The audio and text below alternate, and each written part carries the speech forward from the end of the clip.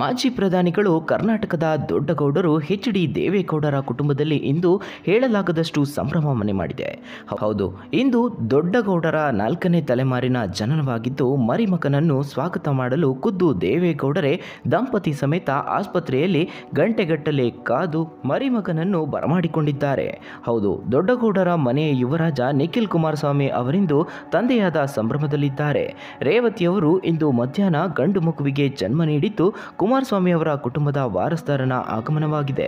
ಇನ್ನು ಕೆಲ ದಿನಗಳ ಹಿಂದೆಯಷ್ಟೇ ಗರ್ಭಿಣಿ ಪತ್ನಿ ರೇವತಿಯವರು ಆಸೆಪಟ್ಟಂತೆ ಬೆಂಗಳೂರಿನ ಹೆಚ್ ಎಸ್ ಆರ್ ಲೇಔಟ್ನಲ್ಲಿ ಅದ್ದೂರಿಯಾಗಿ ಸೀಮಂತ ಶಾಸ್ತ್ರವನ್ನು ನೆರವೇರಿಸಿದ್ದರು. ಮದುವೆ ಸರಳವಾಗಿ ಆದ ಕಾರಣ ಹುಟ್ಟುವ ಮಗುವಿಗೆ ಎಲ್ಲರ ಆಶೀರ್ವಾದ ಸಿಗಲೆಂದು ಅದ್ದೂರಿಯಾಗಿ ಸೀಮಂತ ಶಾಸ್ತ್ರ ನೆರವೇರಿಸಿ ಸ್ನೇಹಿತರು, ಸಂಬಂಧಿಕರು, ಆಪ್ತರು ಎಲ್ಲರೂ ಆಗಮಿಸಿ ರೇವತಿ ಹಾಗೂ ಮಗುವಿಗೆ ಶುಭ ಹಾರೈಸಿದ್ದರು. ಇನ್ನು ಪತ್ನಿ ಗರ್ಭಿಣಿಯಾದ ದಿನದಿಂದಲೂ ಮಡದಿಯ ಜೊತೆ ಹೆಚ್ಚು ಸಮಯ ಕಳೆಯುತ್ತಿದ್ದ ನಿಖಿಲ್ ಅವರು ಸೀಮಂತ ಶಾಸ್ತ್ರದಲ್ಲಿಯೂ ಸದಾ ರೇವತಿಯವರ ಅಕ್ಕಪಕ್ಕವೇ ನಿಂತು ಮಡದಿಯ ಮನಸ್ಸಿನಲ್ಲಿ ಅರ್ಥ ಮಾಡಿಕೊಂಡು ನಡೆದುಕೊಂಡ ರೀತಿ ನಿಜಕ್ಕೂ ಮೆಚ್ಚುವಂಥದ್ದು. ಇನ್ನು ಹೆರಿಗೆಯಾದ ನಂತರ ಸಂಪೂರ್ಣ ಸಮಯ ರೇವತಿಯವರೊಟ್ಟಿಗೆ ಇರಬೇಕೆಂದು ಹೆರಿಗೆ ದಿನಾಂಕ ಹತ್ತಿರವಾಗುತ್ತಿದ್ದಂತೆ ಎರಡು ದಿನಗಳ ಮುನ್ನವೇ ತಮ್ಮ ರೈಡರ್ ಸಿನಿಮಾದ ಉಳಿದ ಕೆಲಸಗಳನ್ನು ಮುಗಿಸಿ ಸಿನಿಮಾದ ಎಲ್ಲ ಕೆಲಸ ಮುಗಿಯಿತು ಎಂದು ನಿರ್ಮಾಪಕ, ನಿರ್ದೇಶಕ, ಸಾಮಾಜಿಕ ಜಾಲತಾಣದಲ್ಲಿ ಧನ್ಯವಾದಗಳನ್ನು ತಿಳಿಸಿದ್ದರು.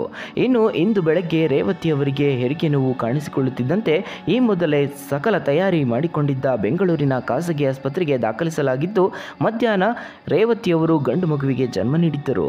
ಸದ್ಯ ಒಂದೂವರೆ ವರ್ಷದ ತಮ್ಮ ಪ್ರೀತಿಯ ಪ್ರತೀಕವಾಗಿ ಹೊಸ ಜೀವನ ಆಗಮನವಾಗಿದ್ದು ನಿಖಿಲ್ ಹಾಗೂ ರೇವತಿಯವರ ಬಾಳಿಗೆ ಹೊಸ ಅರ್ಥ ನೀಡಿದೆ. ಇನ್ನು ಇತ್ತ ಮಗನಿಗೆ ತಂದೆಯಾದ ಕೆಲವೇ ಸಮಯದಲ್ಲಿ ಸಾಮಾಜಿಕ ಜಾಲತಾಣದಲ್ಲಿ ಸಂತೋಷ ಹಂಚಿಕೊಂಡಿದ್ದ ನಿಖಿಲ್ ಅವರು ಮಗನನ್ನು ಎತ್ತಿಕೊಂಡಿರುವ ಫೋಟೋ ಹಂಚಿಕೊಂಡು, ಲವ್ ಯು ಮಗನೇ ಎಂದು ಬರೆದು ಮಗನಿಗೆ ಮೊದಲ ಪ್ರೀತಿಯ ಮಾತನ್ನು ತಿಳಿಸಿ ಲವ್ ಯು ಎಂದಿದ್ದರು. ಇನ್ನು ಇದೀಗ ರೇವತಿಯವರ ಫೋಟೋವನ್ನು ಹಂಚಿಕೊಂಡಿದ್ದಾರೆ. ಹೌದು, ನಿಖಿಲ್ ಅವರು ಮದುವೆಯಾದ ದಿನದಿಂದಲೂ ಮಡದಿಯನ್ನು ತುಂಬಾನೇ ಪ್ರೀತಿಸುತ್ತಿದ್ದು, ಸಾಮಾಜಿಕ ಜಾಲತಾಣದಲ್ಲಿ ರೇವತಿಯವರೊಟ್ಟಿಗಿನ ಫೋಟೋ ಜೊತೆಗೆ ಮನದ ಮಾತುಗಳನ್ನು ಕವಿತೆಗಳಾಗಿ ಬರೆದು ಹಂಚಿಕೊಳ್ಳುತ್ತಿದ್ದರು.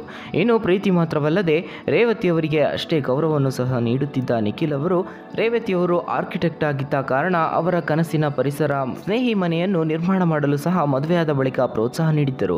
ಇನ್ನು ಪತ್ನಿ ಗರ್ಭಿಣಿಯಾದ ನಂತರ ಆದಷ್ಟು ಸಮಯ ರೇವತಿಯವರೊಟ್ಟಿಗೆ ಕಳೆಯುತ್ತಿದ್ದ ನಿಖಿಲ್ ಅವರು ಅವರ ಎಲ್ಲ ಆಸೆಗಳನ್ನು ನೆರವೇರಿಸಿಕೊಂಡು ಬರುತ್ತಿದ್ದರು ಇದೀಗ ರೇವತಿಯವರು ಮಗುವಿಗೆ ಜನ್ಮ ಕೊಟ್ಟು ತಾವು ಮರುಜನ್ಮ ಪಡೆಯುವ ವೇಳೆ ಪ್ರತಿ ಕ್ಷಣವೂ ರೇವತಿಯವರ ಜೊತೆಯಾಗಿಯೇ ನಿಂತು ಮಗುವಿಗೆ ಆಗಮನದ ಸಂಭ್ರಮದಲ್ಲಿ ಮಾತ್ರವಲ್ಲ ಮಡದಿಯ ನೋವಿನಲ್ಲಿಯೂ ಜೊತೆಯಾಗಿ ನಿಂತಿದ್ದು ಇದೀಗ ಮಡದಿಯ ಮಡಿಲಿನಲ್ಲಿ ಮಗ ಇರುವ ಫೋಟೋವನ್ನು ಹಂಚಿಕೊಂಡಿದ್ದಾರೆ. ಹೌದು, ತಾತ, ಅಜ್ಜಿ, ಅಮ್ಮ ಹಾಗೂ ರೇವತಿ ಹಾಗೂ ತ ಮಗುವಿನ ಜೊತೆ ಇರುವ ಫೋಟೋಗಳನ್ನು ಹಂಚಿಕೊಂಡಿದ್ದಾರೆ. ಅಷ್ಟೇ ಅಲ್ಲದೆ ಹಳೆಯ ಬೇರುಗಳು ಹೊಸ ಚಿಗುರಿಗೆ ಕಾರೈಸಿರುವ ಕಾರಣ ಹೌದು, ತಾತ, ಅಜ್ಜಿ, ಅಮ್ಮ ಹಾಗೂ ತಾವು ರೇವತಿ ಹಾಗೂ ಮಗುವಿನ ಜೊತೆಯಲ್ಲಿರುವ ಫೋಟೋಗಳನ್ನು ಹಂಚಿಕೊಂಡಿದ್ದಾರೆ.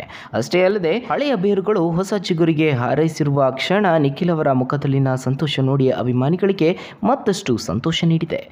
ಇನ್ನು ಇತ್ತ ಪತ್ನಿ ರೇವತಿಯವರಿಗೆ ಹೆರಿಗೆ ನೀವು ಬಂದಾಗಿನಿಂದಲೂ ಕೂಡ ರೇವತಿಯವರನ್ನು ಬಿಟ್ಟು ಒಂದಿಂಚು ಕದಲದ ನಿಖಿಲ್ ಸದ್ಯ ತಂದೆಯಾದ ಸಂಭ್ರಮದಲ್ಲಿ ಮಾತ್ರವಲ್ಲ ಪತಿಯ ಕರ್ತವ್ಯವನ್ನು ಮರೆಯದೆ ನಿನ್ನ ಜೊತೆಯಲ್ಲೇ ನಾ ಸದಾ ಜೊತೆಯಾಗಿರುವೆ ಎನ್ನುವಂತೆ ರೇವತಿಯವರಿಗೆ ಈ ಸಮಯದಲ್ಲಿ ನೀಡಬೇಕಾದ ಸಂಪೂರ್ಣ ಪ್ರೀತಿ ನೀಡುತ್ತಾ ಜೊತೆಯಾಗಿ ನಿಂತಿರುವುದು ಕಂಡರೆ ನಿಜಕ್ಕೂ ಈ ಜೋಡಿಯ ನಡುವಿನ ಪ್ರೀತಿ ಸದಾಕಾಲ ಹೀಗೆ ಇರಲಿ ಎಂದು ಹಾರೈಸೋದು ಖಚಿತ.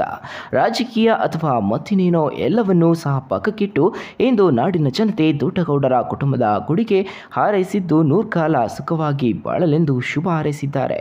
ಇತ ನಿಖಿಲ್ ಅವರು ಪತ್ನಿ ರೇವತಿಯವರ ಮೇಲಿನ ಪ್ರೀತಿಗೆ ಫಿದಾ ಆಗಿದ್ದಾರೆ